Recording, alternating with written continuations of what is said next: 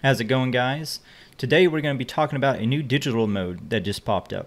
Well, it might have been around for a little while, but it's still in development and not many people know about it. So one of my viewers actually sent this in. He sent in the presentation and said, hey, you should uh, you know, do a video over this. People might find it interesting. You might find it interesting. And I did. And that project is called Ribbit. But real quick, guys, if you're not subscribed to the channel, please hit the subscribe button below. I'm not going to ask you to like the video until the end because you might not like it. Anyways, this new digital mode is called Ribbit, and it is advertised to work on the VHF and UHF band. And I'm going to go into a lot more detail here in just a minute. Uh, I might show some of the slides that was in the presentation, but it's kind of like APRS, and it looks like it strives to have the same uh, functionality as APRS.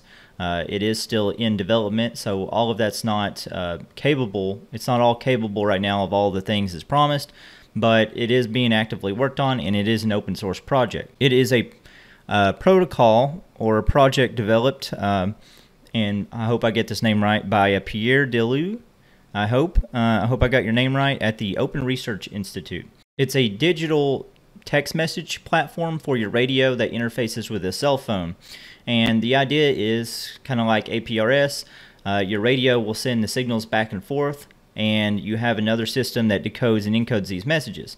Now, what kind of sets Ribbit apart, in my opinion, from what I've seen in the research I've done from APRS and some of those other projects, is it's uh, it's made to be very versatile when it comes to uh, communicating with, say, your cell phone, if it's the the one decoding the messages and encoding them, because you don't need an audio interface. There was special care taken when developing the protocol to make it withstand some of the interference that might happen if you just have a cell phone and your radio sitting next to each other and you're piping the audio from one to the other. Um, during the presentation, it was also said that it also uh, withstands Bluetooth compression, YouTube compression, and uh, it works on various modes like FM and single sideband. But we're going to do a demonstration of it today. Um, I'm going to show you what has been developed so far with the app, how far it's came, and what we can do with it. And we're going to talk about its use case scenario right now and basically the benefits of it. In the future, I'd like to do a comparison video of APRS and range, maybe take some radios out and uh, see how far each of them go. Um, and compare what the range is like between them and how they withstand some of the interference that might happen. The website for the project and all the links to the programs that we use for the phones will be below. There's no transcription error, so if you get one of the letters wrong, it, the message just won't work. I don't know if that's a good thing or a bad thing. I guess there can't be any typos. So if you're using emergency emergency communications, I guess nothing can be wrong. So that's a plus. And by the way, uh, by what I saw in the presentation, right now the project is uh, specifically doted to, uh, devoted to emergency personnel and areas and stuff like that for uh, communication and, and disaster. So that's kind of what they're gearing toward right now. Uh, another cool little thing, it only takes one second to transmit, but you'll see that I have my setup to have a, a nice little preamble. Also, I know I said FM and a single sideband modulation, but it actually supports AM modulation as well. So it's kind of versatile in that way. And I just want to give a, like a nice rundown of the project before we actually do the demonstration. Um, right now, the uh, the project itself it has like a demo app and um, we're going to show you guys you know some of this what the app looks like. We're going to use it but right now it can only send and receive messages. There's also a parrot mode so you can send a message to another location and if that location's in parrot mode it'll just repeat the message back to you. Kind of like a ping uh, network ping. Um, and there's some settings in there to adjust the sample rate to change the channel. So I assume maybe there'll be like different channels that people can use maybe simultaneously. I'm not sure. That wasn't said. Um, but there's also a couple options in there to set like a preamble to the packet. So if you've got another station on the other end using Vox, it'll open that Vox before the uh, the packet actually comes through. That way it's decoded properly. Anyways, yeah, that's the basics. Project by uh, Pierre there at the Open Research Institute. It's a messaging app in the future, some of the stuff, uh, if you guys are really interested in this project, I really highly recommend that you go actually look at the presentation uh, that's in the description, the link to it, because uh, he goes over the future of the project, and it looks like there's some pretty wild stuff going on, maybe like interfacing with the cloud, kind of like APRS is, uh, repeaters linked up with them, uh, the ability to request messages from the repeater from the, like the last 50 messages so that uh, if you if you want to get caught up in the conversation, maybe you haven't been picking them up, there's that uh, functionality there too. Uh, maybe some even internet relay um, stuff. So looks like there's a lot promised with this, and I could see if this project continues to be developed, uh, it's going to be pretty cool. So anyways, let's go ahead and get into the presentation. I have a I have my Baofeng UV5R and a FT3D uh, R, and we will be using those with two Android phones, which, by the way, there is no iPhone app right now. Uh, there is only the Android app, unfortunately, so for you guys that have iPhones, I don't know, you may be able to download an emulator on your computer, like an Android emulator, but as of right now, there is only the APK for the Android. The app on the phone itself is actually called Rattlegram, uh, and it was stated on their website that this is because they didn't want to change it to Ribbit until the final uh, production of the app. But anyways, it's called Rattlegram on the Android store, on the Android Google Play Store. So if you guys do have Android phones, you can download it. Um, but the link will be below if you can't find it. Anyways, let's go ahead and get into this demo. This is just this is just a little video I shot on my phone here to show you the app without the camera because the quality is going to get destroyed if I try to film it. But this is the app here. It's called Rattlegram.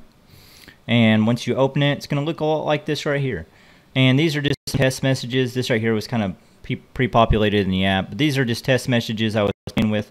Now, to send a message, you'll actually hit the little bubble icon right you see here, and you'll be able to compose a message. And you'll type it.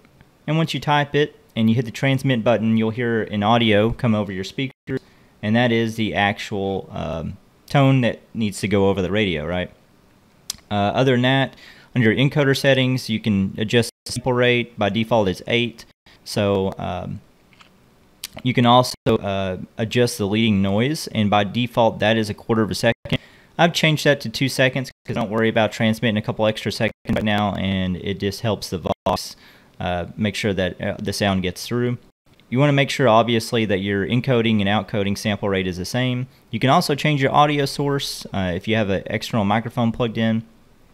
There's also a spectrum analyzer. So the spectrum analyzer is pretty cool. Um, because it'll actually show you kind of like FT8 waterfall, the signals coming through or whatever audio is coming in the room. Um, parrot mode, pretty neat. It will actually make it so that uh, one node will just regurgitate whatever was transmitted to it over again. So I use this when I was testing a lot since I'm only one person. But let's go ahead and get into the actual video part.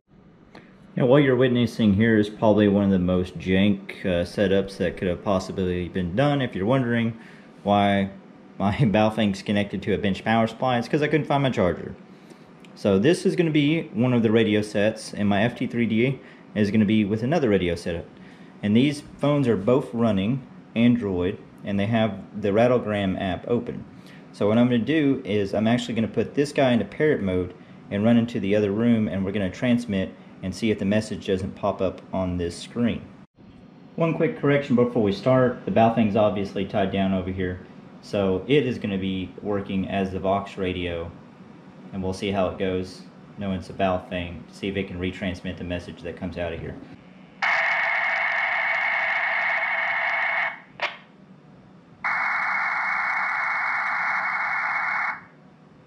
Alright, so what you guys just witnessed there was my FT3D transmitting and this phone picking it up.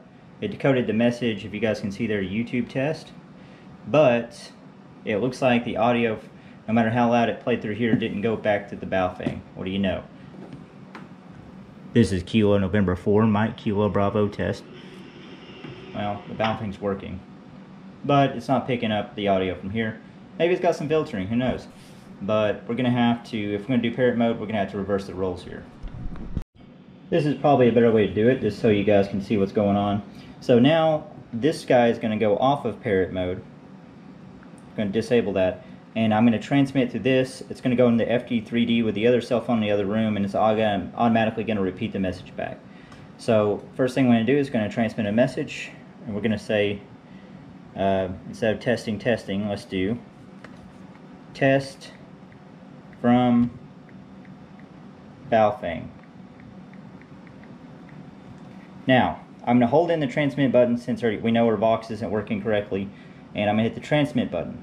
Once this phone's done transmitting, I'm going to let go of the Vox here. That way the other radio can repeat her message back.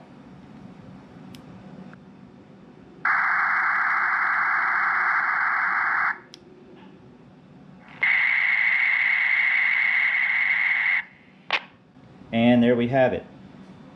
So the message here is the one that we sent. And then we have the message right above that. And that is actually the message we got back from the Baofeng. Let's do another one. So we're going to type in YouTube test 2. And same thing, we'll transmit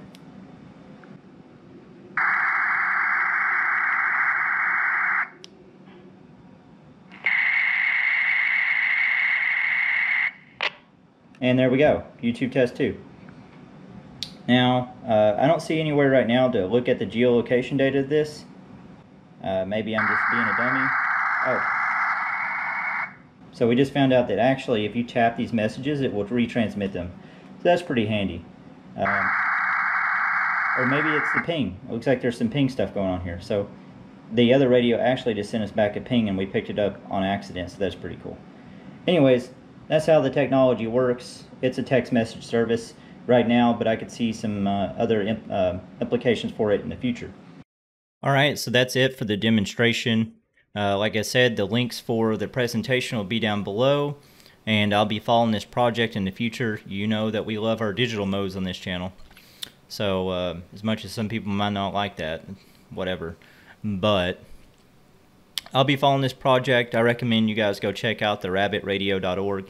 Uh, they also have a form at the very bottom if you guys, uh, if any of you are, are girls, if any of you are developers and are interested in maybe contributing to the project, they have a little form down there that you can put your information.